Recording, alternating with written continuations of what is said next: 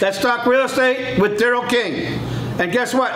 Today's first day of kids going back to school. So we want to hope all those kids are all safe and healthy and everything works out fantastic. I know a lot of parents are very happy that their kids have gone back to school. I hope you are too. Anyway, it's that time of month. The Toronto Real Estate reported, believe it or not, 5,627 home sales for the month of August, right? So representing a year-over-year dip of 34.2% compared to record-breaking year of last year. The August sales also represented a month-over-month increase compared to July. So instead of going down, down, down, we actually went up. Sales represented a high share of new listings compared to the previous three months.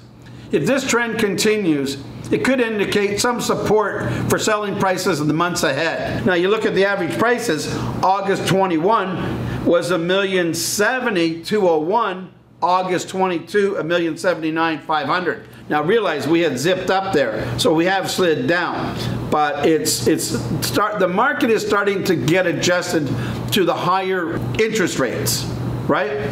You know, the biggest problem with all of this is the mortgage stress point. So that's two points above what you have to get a more you have to approve for, for a mortgage. So, you know, if I have a mortgage coming up, if I'm I'm at the and I just stay to the same place, I have no issues. The the mortgage lender will probably give me a lower rate, whatever. But if I'm free to go out there, not have to go through the mortgage stress rules, I can shop around for better rates. So this is one of the things that the government needs to look after immediately. Sales down 34.2, new listings down 0.7. Active listings are up 62.3. So, you know, the average price is 0.9% from a year ago. So all big increases we had for the last year have now balanced it out. So it's almost a wash. You know, your average days on market have, have increased it by 34 days versus 21. So, you know, we look at the city of Toronto. City of Toronto had 1,892 sales for an average price of 1,031,979. You look at Peel, they had 1,058 sales for an average of 1,062,984.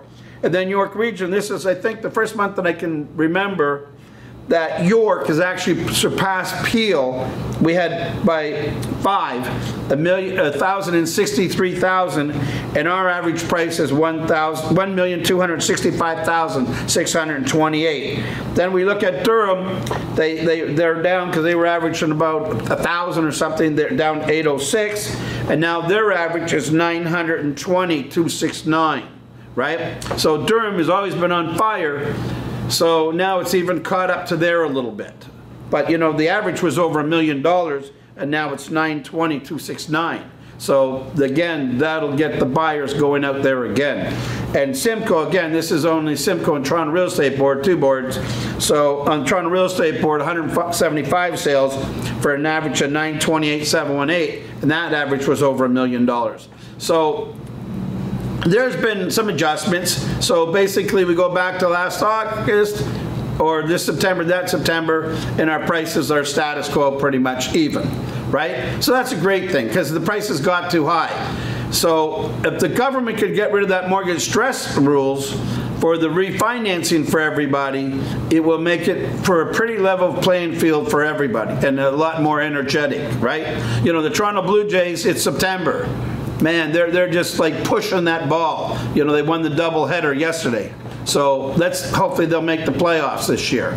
So I want to wish everybody a very happy fall. Be healthy, be safe. Home sales. Now you got to remember, we were in a summer market. So traditionally, the fall market is hotter. So I actually expect a pretty good September. I really do. So whether you're thinking, buying, selling, or investing, want questions answered, give us a call at 905-907-5464. Our home's at darylking.com. And we wish you the best fall. Take care. Bye-bye.